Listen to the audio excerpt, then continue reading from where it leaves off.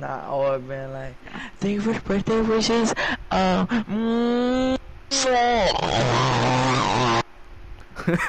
Thanks for watching.